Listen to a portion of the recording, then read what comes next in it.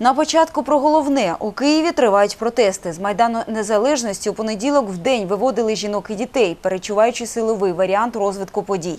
Як повідомляє «Українська правда», після 15-ї години понеділка Майдан оточили внутрішні війська. Проте військовослужбовці лишалися на місцях і проходу пішоходів не перешкоджали. Водночас триває пікетування будинку уряду. Також повідомляють про пікетування Шевченківського районного суду. Свою оцінку ситуації вже дав міністр внутрішніх справ. Віталій Захарченко визнав, під час розгону Майдану постраждали і невинні люди. Мирні зібрання в Україні почалися ще 24 листопада. Майже тиждень вони справді носили виключно мирний характер. 30 листопада на Майдані з'явилися агресивні молоді люди, які стали розтягувати огорожі, кидатися камінням у працівників міліції та використовувати сльозогінний газ. Коли їхні дії набули характеру протиправних дій, втрутився спецпідрозділ Беркут.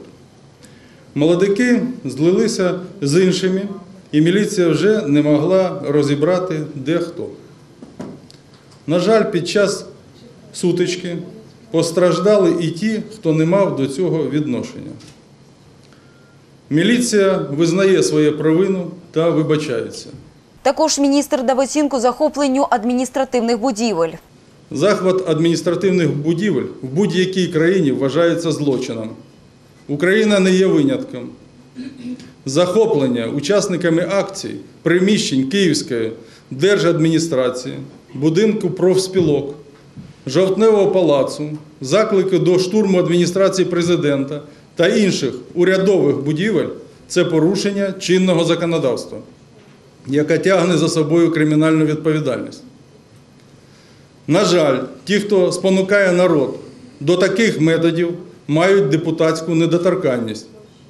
Чи праві вони по відношенню до своїх виборців?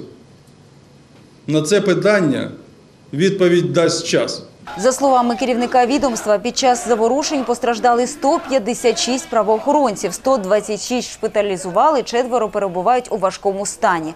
У цій ситуації Міністерство закордонних справ Литви закликало українську владу утриматися від застосування сили. Також у Європейському Союзі сподіваються, що ситуацію у суспільстві поліпшить загальнонаціональний круглий стіл за участі влади, колишніх українських президентів та представників опозиції.